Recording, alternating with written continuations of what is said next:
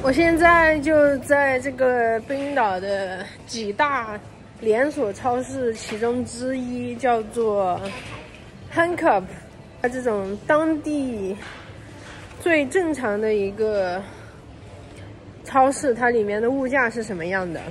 这超市可以看跟我们国内很像，一进来也是先有一些日化品，然后这个上面呢就是冰岛语，我也看不懂。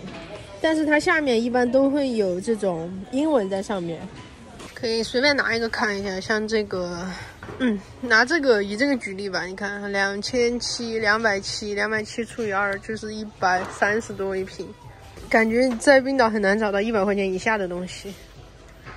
刚刚我们找了一家很便宜的自助餐吃，下来也是人均一百五左右，已经是相当便宜了。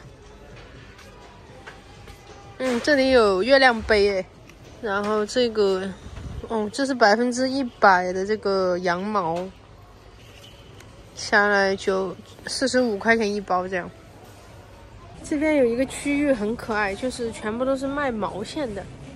你看它的颜色非常好看，非常治愈。圣诞节刚过，还是有一些卖圣诞的东西。它这超市真的是很像家乐福一类的，什么东西都汇在一起。这还有冰岛当地的书，书的价格普遍在四千到六千，那很贵啊！这边书，这边书基本上四千四百两百多块钱一本书这样，在这边看书也是一个奢侈品啊！哇，已经深深的感受到了当地的物价。飞利浦的这个一点七升的烧水壶，九千四百五十块钱，四百五十块钱人民币。在这里，你想拿一百块钱，可能真的是什么都买不到吧。然后这个冰箱里就是都是食物，这一片食物区，速冻的。我们去看一下鸡蛋的价格，鸡蛋是从七百五百。到一千，价格都有。一千它这个量是多一点，然后五百可能量少一点。五百的话就这样，可能六个鸡蛋大概就是二十五块钱人民币。因为这边当地也没有那个超市，呃，没有小，没有那个菜市场，大家买东西其实都是在这，都是在商场买。我在国内已经觉得一块钱一个鸡蛋很贵了，没想到更更贵。这边这个马卡龙看着很有食欲啊，都是各种黄油啊、cream cheese 啊、各种芝士，看大片的这个黄芝士。我现在在卖肉的区域，然后我看到这块有新鲜的这个牛肉。然后它这里写的是六千六六呃五千五克朗一公斤，这个可能就是两千五左右。这个牛肉看非常新鲜，两千五两百五就是一百多块钱。其实，在当地超市买东西自己做还是很划算的。然后这里就都是 sausage，各种口味不同的带芝士的。Barbecue 辣的 sausage，基本价格就在三十块钱人民币左右，这个还是很划算。这个不知道是什么肉啊，不认识。三文鱼，看这个肉，品质看着非常好。这里有卖这种烤鸡，就是明火在烤，然后自动转。这里有价格，它可能不同价格。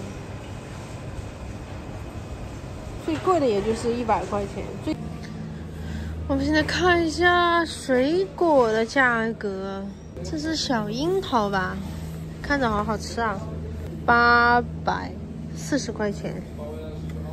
哇，这个这个这个，好圆润啊，每一个。七七百七十，三十五一个。草莓。这个看着真的好好，好好吃啊！每一个看上去都很饱满的样子。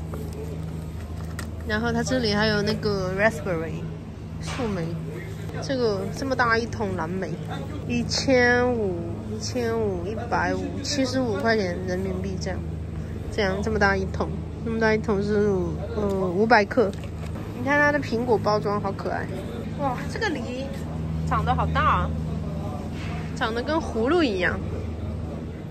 这还有青梅、姜姜姜姜姜生姜，这个生姜。这是正儿八经的大姜啊，一千六一公斤，一千六，一百六八十块钱人民币一一公斤。大姜，土豆，哎，这个是什么土豆啊？